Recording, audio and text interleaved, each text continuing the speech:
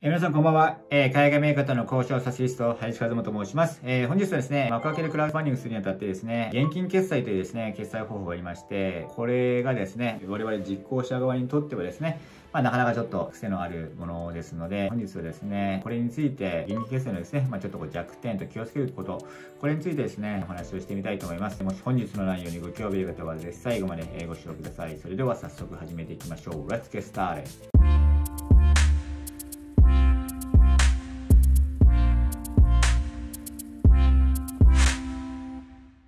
はい、えーそうですね。早速本日のコンテンツの方を始めていきたいと思います。このまあ幕開けでですね、商品を購入する際にですね、ほとんどの方っていうのはですね、クレジットカード決済になります。で、クレジットカードだとするとね、いいんですけども、なぜかというと、支援を確定した時点でですね、支援者様の幕開けに紐づいているクレジットカードの方に料金が請求されるんですけども、もう一つですね、現金決済というのがあります。その現金決済というのは何かと言いますと、画面になりますように、コンビニ決済、ページ決済、銀行決済ということになります。これはですね、入金を確定する際にですね、支払い方法を現金決済にするとですね、一応購入は確定するんですけれども、支払い期限までに入金をする必要があるということで、支払い期限がいつまでなのかということなんですけども、1週間なんですよ。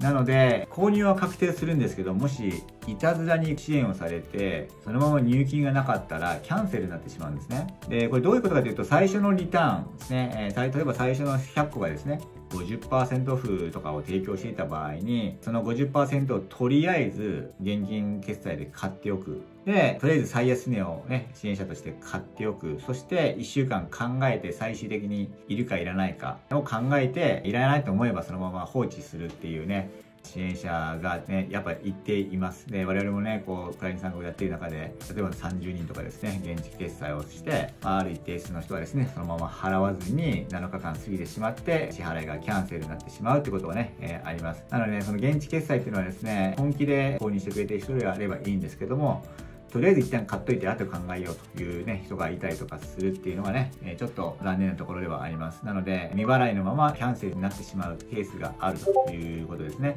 そうすると、例えば50%で買っていた人がキャンセルしてると、50%のリターンが1個また空いたりとかするので、まあ、それをまた他の人が買ってくるということもあったりとかするので、この現地決済に関してはですね、1週間の支払い期限がありますので、それまでにキャンセルになってしまうと、未払いの場合だと売り上げがキャンセルになってしまうことがあると